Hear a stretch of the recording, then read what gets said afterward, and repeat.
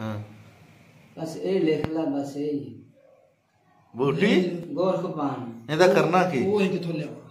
ਹੁਣ ਮੈਂ ਦੱਸਣਾ ਨਾ। ਦੱਸੋ। ਉਹ 10 ਛਟਾਂਕਾਂ ਲਿਆਣੀਆਂ। ਅੱਛਾ। ਇੱਕ ਛਟਾਂਕ ਮਿੱਟੀ ਦੇ ਡੋਲੇ 'ਚ ਪੈ ਦੇਣੀ ਅੱਛਾ। ਸਵੇਰ ਖਾਲੀ ਪੇਟ ਪਾਣੀ ਪੀਣਾ। ਅੱਛਾ। ਇੱਕ ਗਲਾਸ ਪਾਣੀ ਦਾ ਅੱਛਾ। 10 12 ਦਿਨ ਪੀ ਲੈ ਤੇ ਅੱਲਾਹ ਪਾਕ ਖੈਰ ਕਰ ਦੇ। ਨਹੀਂ ਘੰਟਾ ਡੇਢ।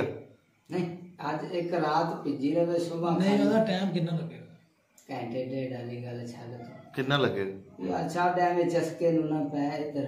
ਜਿਹੜੀ ਗੱਲ ਇਹਨਾਂ ਨੇ ਯਾਰ ਟਾਈਮਿੰਗ ਦੀ ਪੁੱਛਣ ਦੇ ਵੀ। ਉਹਨਾਂ ਦਾ ਕਿੰਨੀ ਕੁ ਹੋਏਗੀ? ਜਿਹੜਾ- ਪੰਜ- ਪੰਜ 6 7 ਮਿੰਟ ਹੋ ਜਾਣਗੇ। ਦੋ 5-4 ਮਿੰਟ ਹੀ ਬੜੇ ਨੇ। ਘੰਟੇ ਵਾਲਾ ਨੁਕਸਾਨ ਹੈ।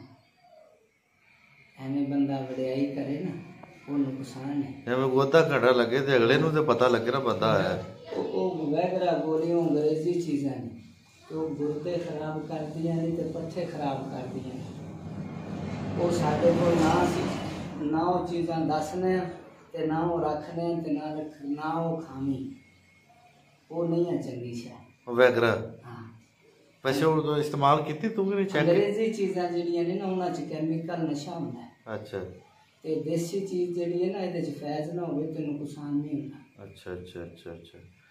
ਨਹੀਂ ਵੈਸੇ ਜਿਹੜੀ ਇਹ ਗੋਲੀ ਹੈਗੀ ਬੋਬੀ ਅਕਸਰ ਆ ਹੁਣ ਮਾਮਲਾ ਤੇ ਬਹੁਤ ਜ਼ਿਆਦਾ ਚੱਲੇ ਕੋਈ ਕੋਈ ਚੀਜ਼ ਇਸਤੇਮਾਲ ਬੜੀ ਕਰ ਦੁਨੀਆ ਜਾਣਦੀ ਮੈਂ ਤੇ ਇਹ ਚਾਣਕ ਉਹਦਾ ਪੌਣਾ ਘੜਾ ਨਿਕਲੇ। ਅਗਲੇ ਨੂੰ ਇਕਰਾ ਇਹ ਪਤਾ ਲੱਗੇ ਕੋਈ ਬੰਦਾ ਮਿਲਣਾ ਹੈ। ਨਹੀਂ ਇਹ ਨਾ ਦੇ ਤਾਂ।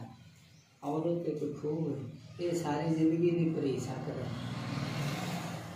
ਬੰਦੇ ਨੂੰ ਸਿਰਫ ਨਾ ਇਹ ਜਿਆਦੀ ਤਮਾਸ਼ੀ ਬਿੰਦੀ ਕਮਜ਼ੋਰ ਕਰਦੀ ਜਦੋਂ ਬੰਦਾ ਇਸ ਗੱਲ ਦੀ ਸੋਚ ਰੱਖਦਾ ਹੈ ਨਾ ਜੇ ਮੈਂ ਅਗਲੇ ਬੰਦੇ ਨੂੰ ਤਬਾਹੀ ਕਰ ਦਿਆਂ ਉਹ ਆਪ ਹੋ ਜਾਂਦਾ। ਉਹ ਆਪ ਹੋ ਜਾਂਦਾ।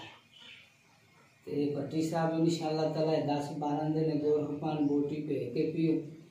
ਤੇ ਇਨਸ਼ਾਅੱਲਾ ਤਾਲਾ ਬਿਹਤਰੀਨ ਚੀਜ਼ ਹੈ ਨਿਸ਼ਾਨਾ ਮੇਲਾ ਧੋ ਦੇਗੀ ਤੇ ਜੇ ਨਾਲ ਦੀ ਮੋਟਾਈ ਕਰਨੀ ਹੋਵੇ। ਨਹੀਂ ਸਾਡੇ ਕੋਲ ਉਹ ਚੀਜ਼ ਨਹੀਂ ਹੈ। ਉਹ ਜਿਵੇਂ ਇਨਸਾਨ ਇਨਸਾਨ ਹੀ ਡੰਗਰ ਡੰਗਰ ਹੀ ਹੁੰਦਾ ਹੈ। ਐਵੇਂ ਜਿੰਨਾ ਕੱਲਾ ਪਾਕ ਨੇ ਅਤਾ ਕਰ ਛੱਡਿਆ ਹੈ ਨਾ ਉਹਦੇ ਤੇ ਸਬਰ ਕਰਨਾ ਚਾਹੀਦਾ। ਫालतू ਗੱਲਾਂ ਕਰਨ ਦਾ ਫਾਇਦਾ ਨਹੀਂ ਹੁੰਦਾ। ਮੋਟਾਈ ਲੰਬਾਈ ਨਹੀਂ ਹੋ ਸਕਦੀ। ਨਾ।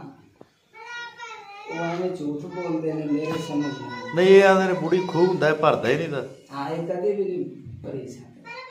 ਕੋਲ ਤੇਰਾ ਜਿਹੜੀ ਮੁਗਾ ਇਹ ਵਡਿਆਈ ਆ ਬੰਦਿਆਂ ਦੀ। ਆਜ ਦੱਸ ਉਹ ਯਾਰ ਦੇ ਮਲੰਗ ਨੂੰ। ਜਿਸਮ ਸਖਤ ਹੋਣਾ ਚਾਹੀਦਾ ਭਾਵੇਂ ਇੰਨਾ ਕੀ ਹੋਵੇ। ਮਲੰਗ ਨੂੰ ਦੇ ਫਿਰ। ਯਾਰ ਇਹਨੂੰ ਬਾਕੀ ਮੰਨ ਹੋਇਆ ਹੁਣ। ਉਹ ਸ਼ਾਹ ਮਾਰ ਲਾ